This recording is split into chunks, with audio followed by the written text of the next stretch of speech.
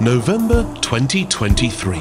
Make sure it's charging there like that. And in the Great Central Railway's Rothley Carriage Works, a most unusual vehicle. Simultaneously, well ahead of its time, but a century out of date. So we've got the diesel engine, which is powering the alternator. That then powers the traction motors and gives us the drive.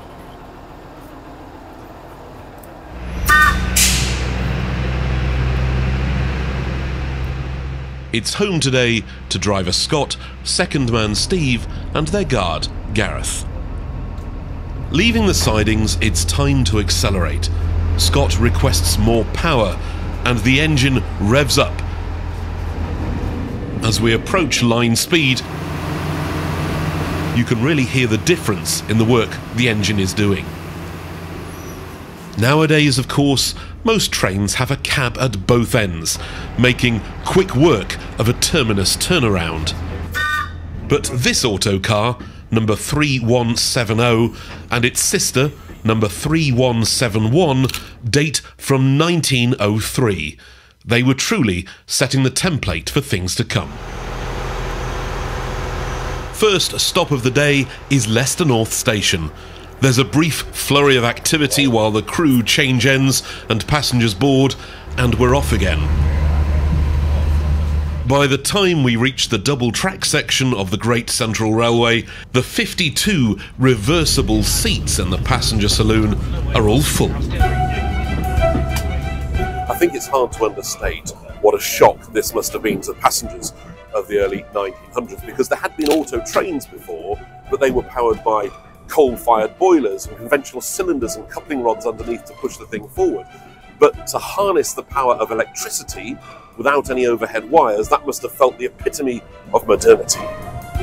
But it wasn't just the feeling of being modern, it would have been quieter than the steam hauled traction passengers were used to, not to mention cleaner, smoother, and when the engine revs up and the traction motor kicks in, the acceleration would have felt sharp.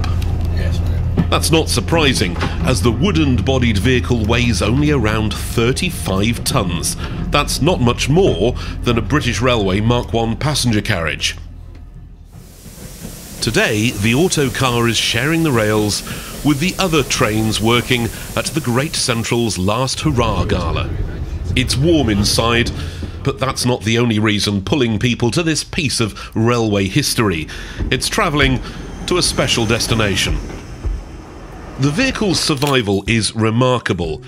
Having enjoyed a working life around Tyneside and Scarborough, it was later given a new, more powerful petrol engine which could not only move itself, but a trailer car too.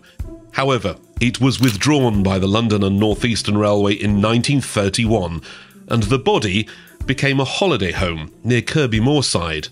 Rescued decades later, it was all that survived. The body was taken to the Embsay and Bolton Abbey Railway for restoration. Meanwhile, at the Great Central Railway, a new diesel power unit was combined with a reinforced chassis from a Great Northern Railway milk and brake van dating from the 1920s. Uh, so this is the driving cab. So over here we've got the handbrake. Uh, dropping down we've got the power handle, direction, the brake valve, uh, and on the desk here we've got all the various gauges for speed and brakes, uh, as well as the engine shutdown, bell, bar, uh, bell buzzer, guard communication, and the fire alarm test button. A lot of modern features here. A lot of stuff's come off other vehicles, other locomotives. Uh, so some bits might look familiar to drivers who sign things like 08s. Uh, that's very familiar on a, a Class 08 shunter. Uh, and the seat is most probably from a HST power car. And so to the unusual destination. The autocar first visited the Great Central in January 2020, and later that year it was due to cover these very tracks and run towards Mountsorrel. The pandemic intervened, so this train is nearly four years late. The branch line was only ever used for bringing stone to the Great Central from a local quarry. If it had been a passenger line, perhaps something similar to the autocar would have been the motive power. At only 10 miles an hour, the vehicle makes light work of the tight curves and steep grades to arrive at the Mountsorrel Heritage Centre with a full trainload of passengers. A long abandoned train running over long abandoned tracks from main line to branch line to a new heritage centre. A fine tribute to every volunteer who has ever believed the impossible just needs a little work.